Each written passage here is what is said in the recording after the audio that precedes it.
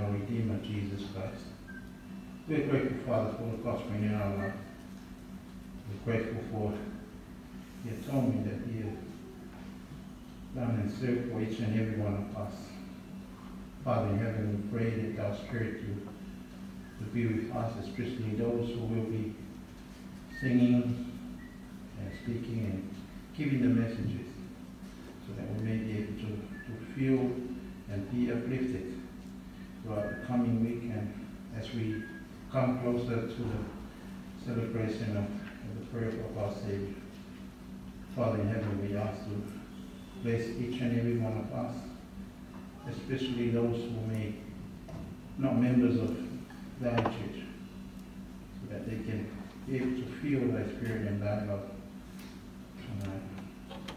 Father in heaven, we ask thee for these things humbly in the name of thy Son, Jesus Christ.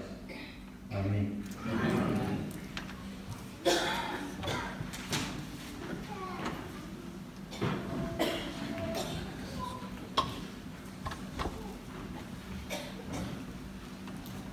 Brothers and sisters, uh, our program tonight we first hear an instrument musical from Sian Scott, Gemma Phillips, and Desiree Clark.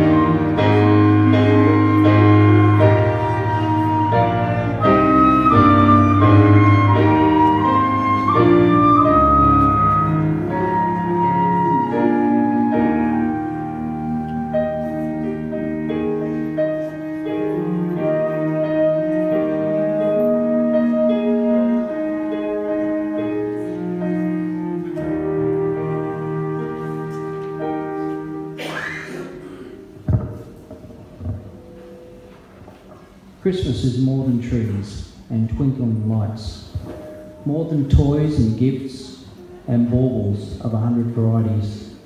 It is love of the Son of God for all mankind. It reaches out beyond our power to comprehend. It is magnificent and beautiful. It is peace. It is the peace which comforts, which sustains, which blesses all who accept it. It is faith It is faith in God and His eternal Son. It is faith in His wondrous ways and message. It is faith in Him as our Redeemer and our Lord. We testify of His living reality. We testify of the divinity of His nature. In our times of grateful meditation, we acknowledge His priceless gift to us and pledge our love and faith. This is what Christmas is really about.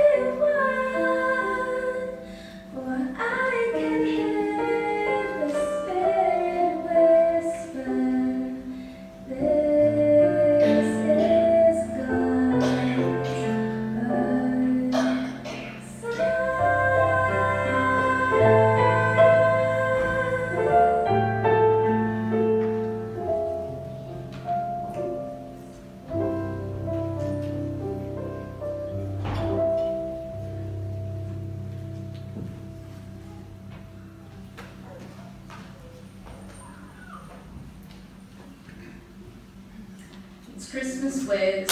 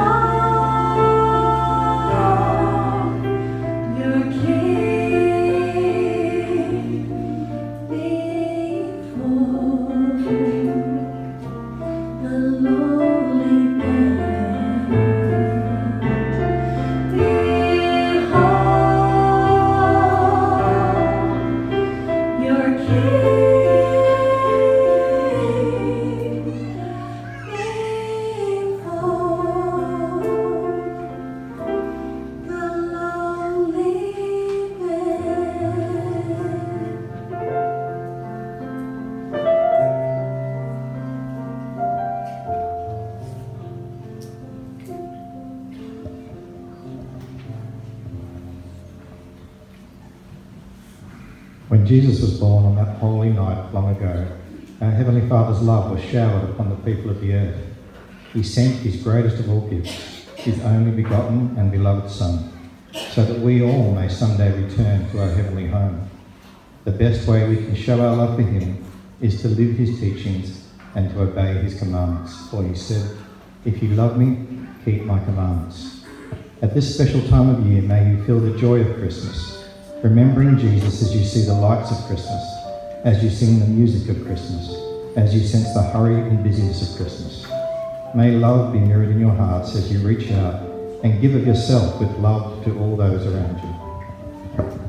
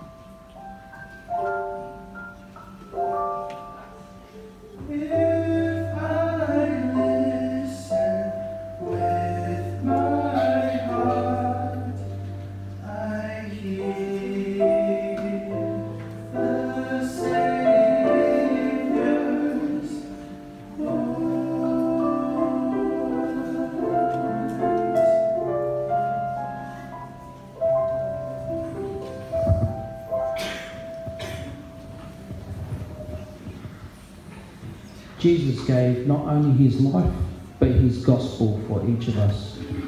His gift of the gospel was freely given to the world. But just as a gift is of little value if you put it on a shelf and never use it, the fullness of the gospel cannot bring the greatest happiness unless you understand its message of hope and gladly live its teachings. We honour Jesus' birth, but without his death, that birth would have been but one more birth. He made the great atonement for the sins of mankind. He taught the way, the truth, and the life. He is the door to immortality and eternal life.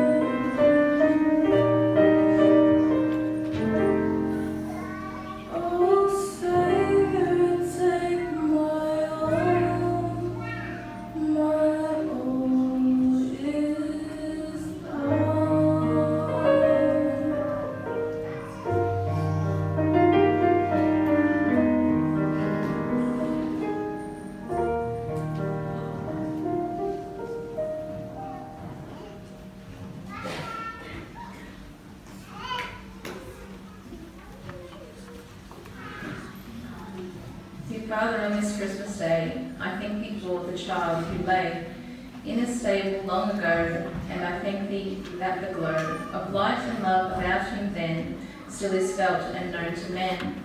I thank thee that this season brings remembrance of the King of Kings, and of the star and angel throngs, and peace expressed in heavenly songs. I thank thee too for every way thy love has blessed us on this day.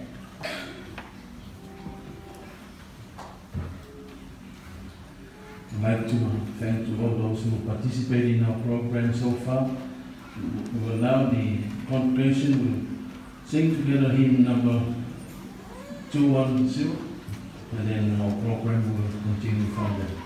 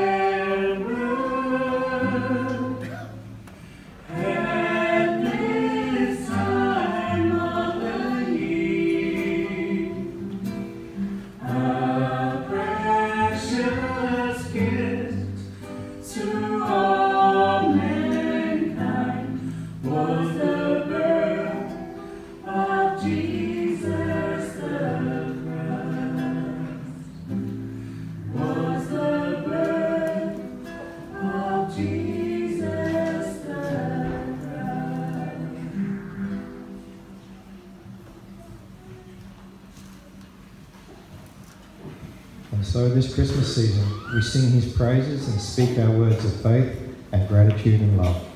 It is his influence in our lives that stirs within us more, more kindness, more respect, more love, more concern. It is because of him and his teachings that we reach out to those in trouble, distress, and need wherever they may be. God be thanked for the gift of his Son, the Redeemer of the world, the Saviour of mankind, the Prince of life and peace, the Holy One, President Gordon B. Hinckley.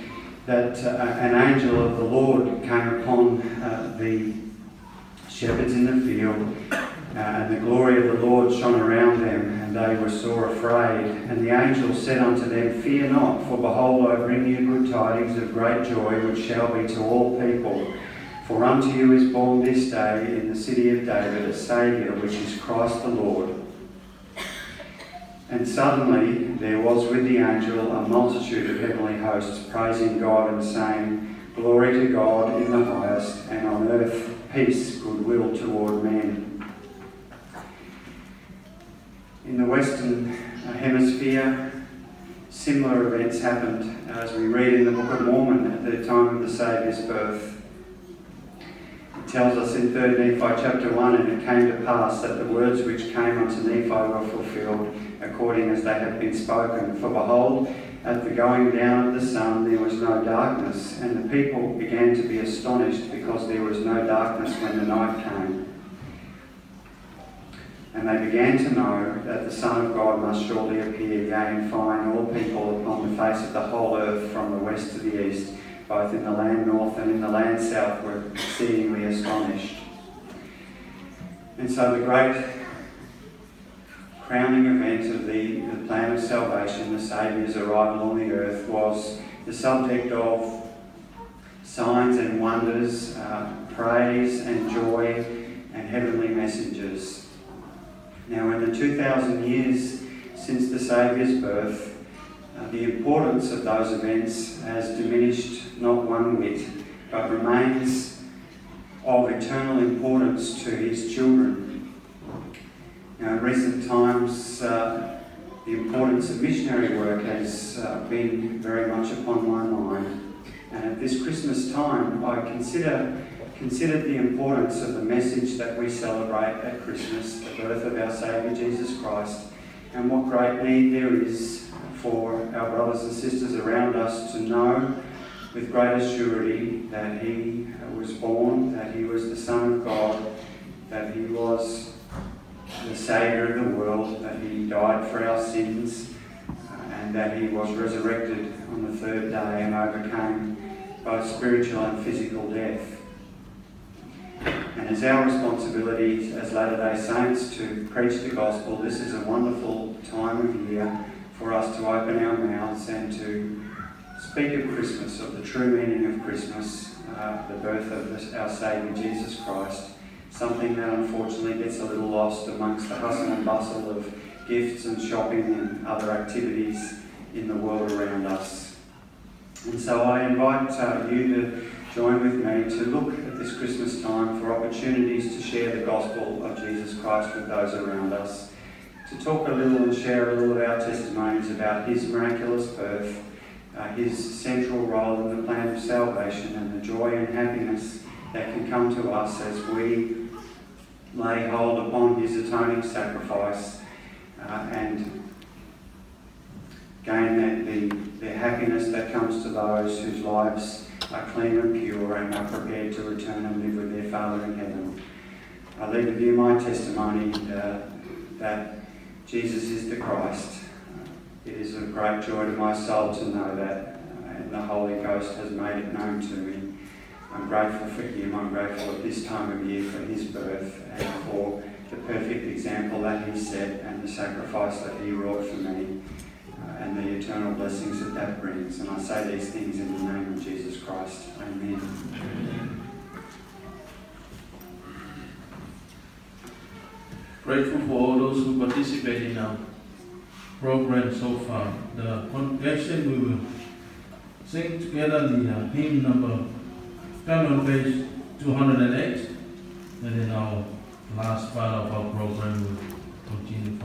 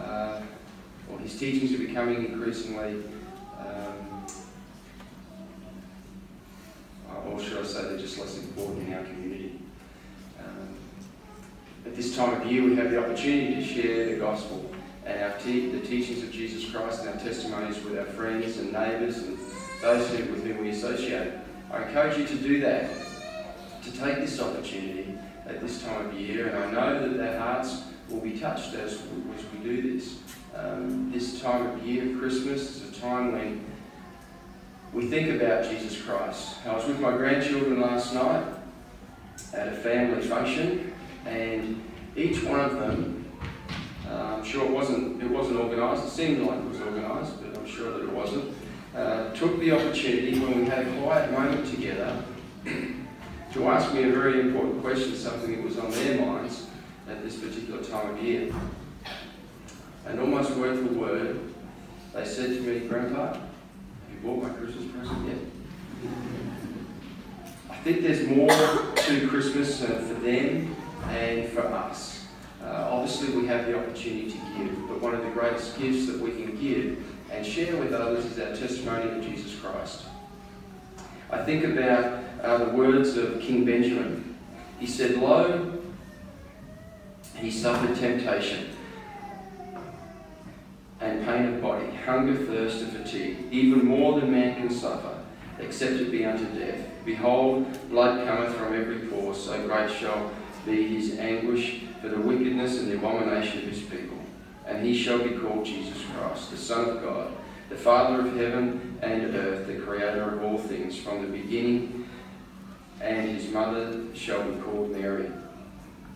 King Benjamin was prophesying the birth of Jesus Christ and the great act of the atonement of Jesus Christ. And the, the promise that comes to us if we live the commandments. The scriptures are replete with uh, information, instructions, are pleading from our Heavenly Father to keep the commandments. And then following that are the great promises that are ours if we keep all the commandments. President Nelson reminded us in, in his uh, address at the Christmas devotion. Said, Our Saviour, uh, a gift from our Saviour is actually a promise, a promise of life everlasting. This does not mean simply living for a really, really long time. Everyone will, uh, will live forever after death, regardless of the kingdom or glory for which they may qualify. Everyone will be resurrected and experience immortality. But eternal life is much more than a designation of time. Eternal life is the kind and quality of life that Heavenly Father and His beloved Son live.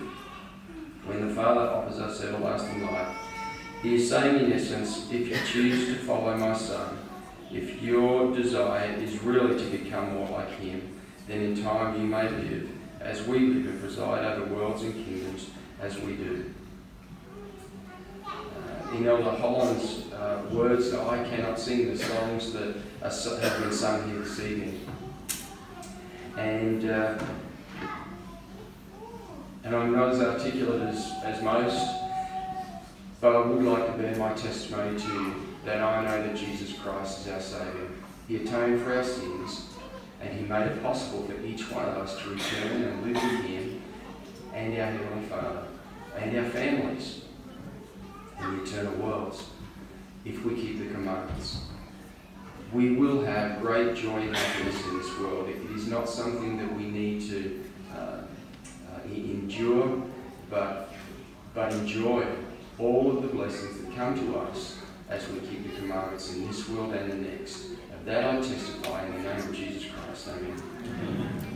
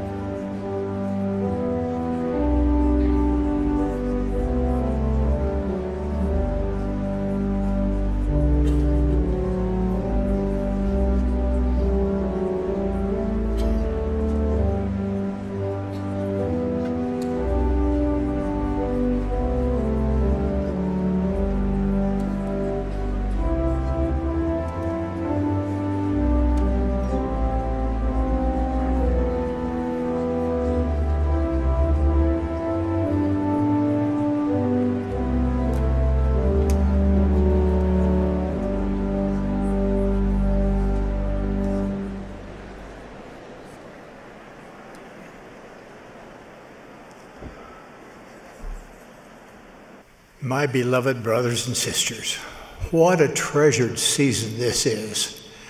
We love the strains of, O come, all ye faithful, and eagerly come to adore him, Jesus the Christ, that singular babe of Bethlehem, the great Jehovah of the Old Testament, and the Messiah of the New. Tonight, let us consider together the blessings that come to us as we focus on the life, mission, doctrine, and atonement of the Lord Jesus Christ. I invite you, as King Benjamin did for saints in his day, to consider on the blessed and happy state of those that keep the commandments of God. That blessing is for us here and now, but added to it is the eventual promise of never ending happiness. Simply stated, true followers of Jesus Christ have the privilege of experiencing unspeakable joy forever. I was reminded of this the other day when I met an angel named Lydia. This angel was not dressed in white, and she made it easy for us to visit by coming to my office. Lydia is 12 years old. I was told that she is suffering from a rare aggressive form of brain cancer. She has an angelic face and a poise beyond her years. As we talked about her life and what lies ahead, she was calm and at peace. When I asked if she had any questions, she quickly replied, What is heaven like? This led to a heart to heart discussion about the purpose of life and the blessings that our Heavenly Father and His beloved Son have. They've offered to those who honor and follow Him. Tonight, we are pleased to have Lydia here with her parents.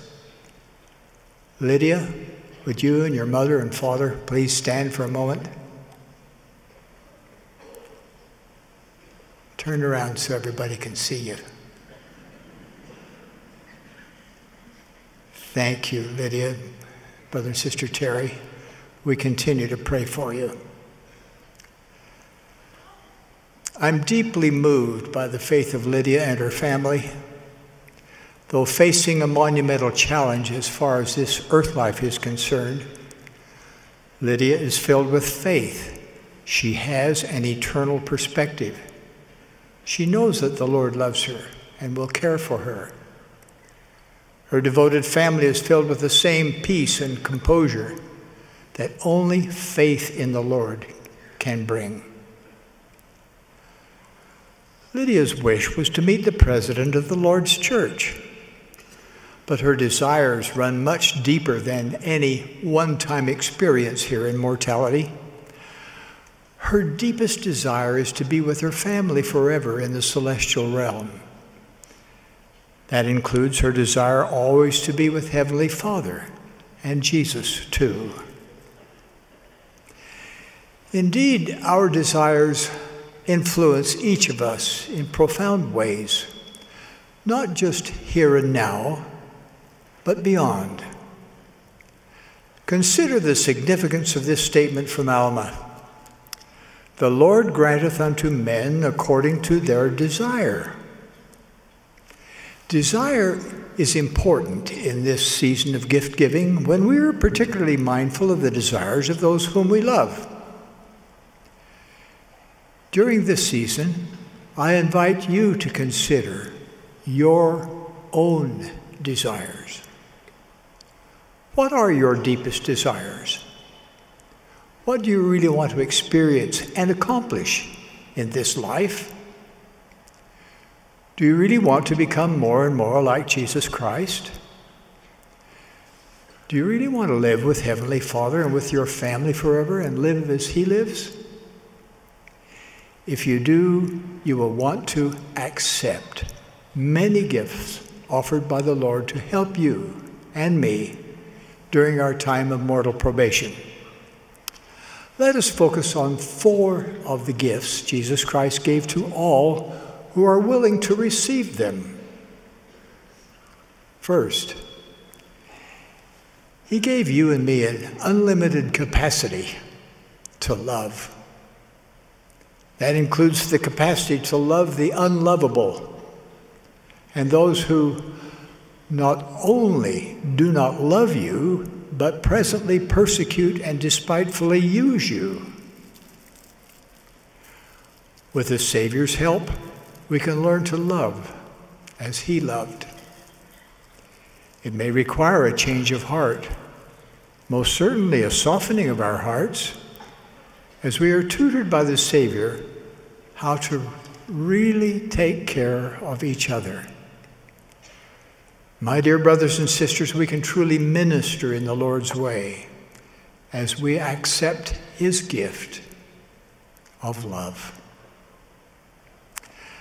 Ask for the Lord's help to love those He needs you to love, including those for whom it is not always easy to feel affection. You may even want to ask God for His angels to walk with you where you presently do not want to tread. A second gift the Savior offers you is the ability to forgive. Through his infinite atonement, you can forgive those who have hurt you and who may never accept responsibility for their cruelty to you. It is usually easy to forgive one who sincerely and humbly seeks your forgiveness. But the Savior will grant you the ability to forgive anyone who has mistreated you in any way. Then their hurtful acts can no longer canker your soul. A third gift from the Savior is that of repentance. This gift is not always well understood. As you know, the New Testament was originally written in the Greek language. In passages where the Savior calls upon people to repent, the word translated as repent is the Greek term metanoeo. This is a very powerful Greek verb. The prefix meta means change. We also use that prefix in English. For example, the word metamorphosis means change in form or shape. The suffix noeo relates to a Greek word that means mind. It also relates to other Greek words that mean knowledge, spirit, and breath. Can we begin to see the breadth and depth of what the Lord is giving to us when He offers us the gift to repent? He invites us to change our minds, our knowledge, our spirit, even our breathing. For example, when we repent, we breathe with gratitude to God who lends us breath from day to day and we desire to use that breath in serving Him and His children. Repentance is a resplendent gift. It is a process never to be feared.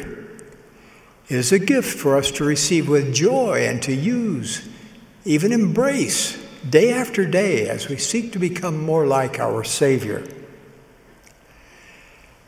King Lamoni's father caught a glimpse of what lay ahead for those who believed in Christ and followed him. He declared that he would give away all his sins for the privilege of knowing the Lord. True repentance is not an event, it is a never ending privilege. It is fundamental to progression and having peace of mind, comfort, and joy. A fourth gift from our Savior is actually a promise a promise of life everlasting. This does not mean simply living for a really, really, really long time. Everyone will live forever after death, regardless of the kingdom or glory for which they may qualify. Everyone will be resurrected and experience immortality. But eternal life is so much more than a designation of time. Eternal life is the kind and quality of life that Heavenly Father and His beloved Son live. When the Father offers us everlasting life, He is saying, in essence, if you choose to follow my Son, if your desire is really to become more like Him, then in time you may live as we live and preside over worlds and kingdoms as we do. These four unique gifts will bring us more and more joy as we accept them. They were made possible because Jehovah condescended to come to earth as the baby Jesus. He was born of an immortal father and a mortal mother. He was born in Bethlehem under the most humble of circumstances. His was the holy birth foreseen by prophets since the days of Adam. Jesus Christ is God's transcendent gift, the gift of the Father to all of his children. That birth we joyfully celebrate each Christmas season. With our thoughts and feelings so focused on the Savior of the world, what then do we need to do to receive these gifts offered to us so willingly by Jesus Christ? What is the key to loving as He loves, forgiving as He forgives, repenting to become more like Him, and ultimately living with Him and our Heavenly Father? The key is to make and keep sacred covenants. We choose to live and progress on the Lord's covenant path and to stay on it. It is not a complicated way. It is the way to true joy in this life and eternal life beyond. My dear brothers and sisters, my deepest desires are for all of Heavenly Father's children to have the opportunity to hear the gospel of Jesus Christ and to heed his teachings, and for Israel to be gathered as promised in these latter days. And I desire that we will believe and receive the love the Savior has for each of us. His infinite and perfect love moved him to atone for you and me.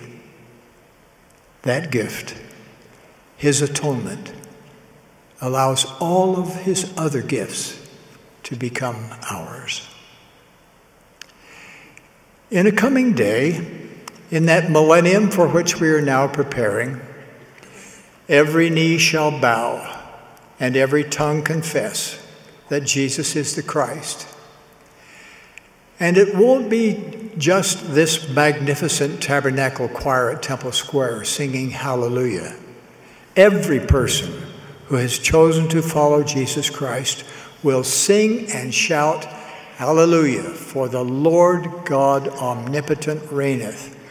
The kingdoms of, of, of the, the kingdoms of this world are become the kingdoms of our Lord and of his Christ and he shall reign forever and ever, King of kings and Lord of lords. I testify that God lives. Jesus is the Christ, the Messiah. This is his church, which he directs through his prophets.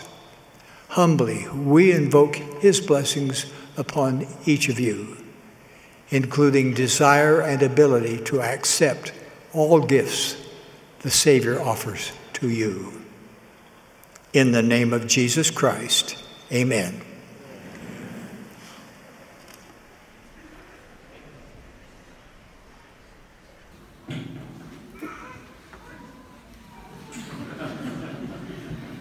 Thank you, brothers and sisters. I would like to uh,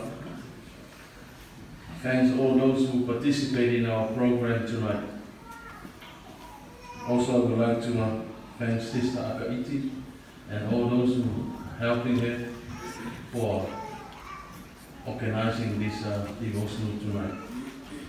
We close our devotional tonight by singing hymn number 203, and then the closing prayer will be offered by Brother Legal. Thank you, brothers and sisters.